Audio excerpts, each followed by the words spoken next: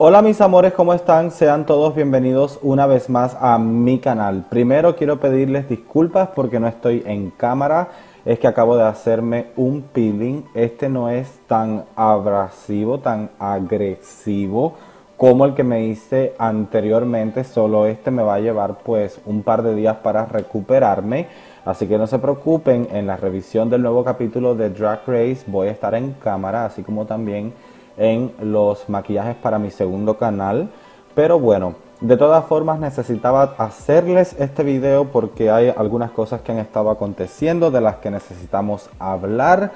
Así que ya saben, suscríbanse a este canal, como siempre les digo, que es totalmente gratis. Activa la campana de notificaciones, regálame un like, comenta, comparte y comenzamos ya. Como ustedes saben, para nadie es un secreto de que ya se ha hablado muchísimo sobre el hecho de que los productores de Drag Race están tratando de buscar a las nuevas chicas que formarían parte de All Stars 5. Al parecer ellos contactaron con James Mansfield, ya que en uno de los últimos videos que James subió a su canal de YouTube, en el cual ella pues se dejaba hacer un maquillaje por parte de su novio, estuvieron pues en este momento en el que el chico le ponía el corrector a James y entonces era como que ella se estaba quejando de que él le estaba poniendo demasiado y es cuando ella le dice asegúrate de que me quede algo disponible porque lo voy a necesitar para Drag Race. O sea que de cierta manera ella como que liquió que al parecer quizás es muy probable que se hayan comunicado con ella los productores para invitarla a hacer All Stars 5. Ahora, ¿por qué yo considero que no es una idea descabellada? Porque si ustedes recordarán, en primer lugar, James Mansfield fue lamentablemente la primera eliminada de su temporada. Pero además, ella después del show, si bien no ha estado tanto de gira o ha estado haciendo tantas cosas alrededor del mundo, eso no quita de que su plataforma de YouTube sea de hecho una de las plataformas más grandes de toda la comunidad de Drag Race. Muchas chicas de Drag Race han intentado pues crear una plataforma, crear una audiencia grande dentro de YouTube y no todo el mundo de hecho lo ha logrado. Muchas han empezado canales y ni siquiera los han mantenido, como por ejemplo Trinity The Talk, que empezó un canal súper interesante y luego lo abandonó otras pues han empezado eh, últimamente a crear sus propias plataformas, pero no han crecido tanto. Sin embargo, James Mansfield es la única que ha estado de verdad súper activa, que no ha abandonado para nada su canal, al punto de que ya cuenta con 61 mil suscriptores, ya les digo, convirtiéndose así en una de las chicas de Drag Race que tiene de las mayores plataformas dentro de lo que es YouTube.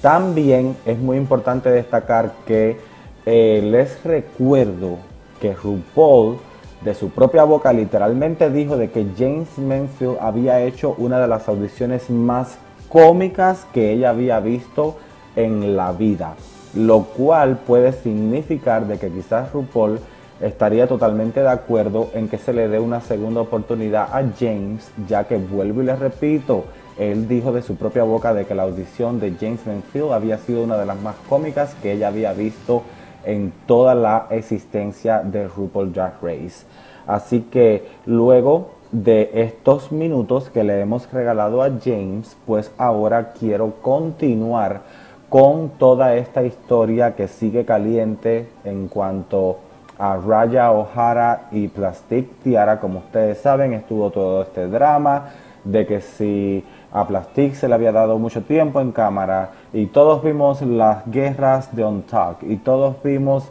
las guerras por todo este material que si supuestamente Plastic le había robado a Raya, en fin. La cuestión es que entonces Plastic en Twitter publica eh, una nota donde dice de que en ningún momento ella le había robado nada a Raya de que ella no era una ladrona, de que ella había usado el material sin saber que era de Raya y que cuando Raya pues le dijo de que eso era de ella, pues ella sencillamente se lo quitó a su atuendo y se lo devolvió a Raya y que entonces Brooke, que es muy buena persona, le cedió el de ella y Plastic fue este el que finalmente terminó utilizando. Pero ella taquea a Raya y es verdad que de una forma muy educada casi que la llama mentirosa por decir de que Plastic le había robado el material. Entonces eh, Raya sale a defenderse y dice de que ella no es una mentirosa, de que ella sí había tomado el material de ella sin pedirle permiso y que sí, que es verdad que se lo había devuelto, pero que al final del día eso no quitaba de que igual fuera un robo porque era un material que a ella no le pertenecía. Y si ella no lo había escogido en su momento de seleccionar los materiales, no es que se lo había luego pues entonces encontrado de casualidad, obviamente es que se lo había cogido a alguien. Y así ha continuado de un lado para otro esta papa caliente que no se quiere quedar en ninguno de los dos bandos. Una le responde a la otra, la otra le vuelve a responder a la otra para atrás y en fin se ha armado toda esta guerra entre las dos por el dichoso material. Al final no han pasado páginas, siguen en todo este drama envueltas, pero hello, fue un capítulo, fue un momento, ya igual nada va a cambiar de que Raya esté fuera de la competencia, así que me parece que es tiempo de dejar todo esto atrás y de sencillamente, tú sabes, move forward. Continuando con el tema de Raya, ella en estos días pues estuvo publicando en sus redes sociales una serie de screenshots de algunos de los videos de odio que constantemente ella recibe por parte de los fans. Y lo más importante de toda esta historia no es solo el hecho de ver el video, donde en esta ocasión pues este chico le dice horrores a Raya, la ofende, la critica, la amenaza y le dice tantas cosas que la verdad que hay que tener pues los nervios de hierro para no echarse a llorar y deprimirse.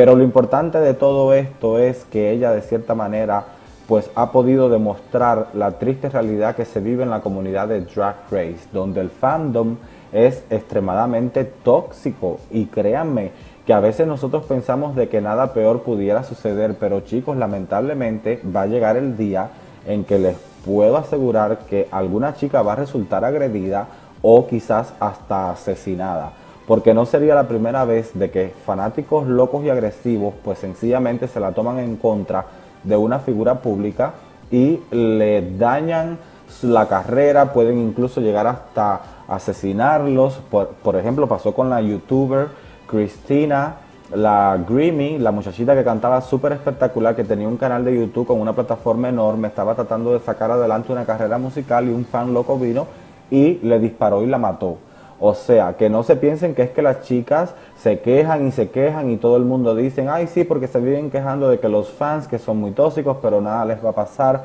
No, mis amores, lamentablemente estas cosas sí pueden tener un desencadenamiento bastante, digamos que negro, al punto de que es algo que no quisiéramos ver.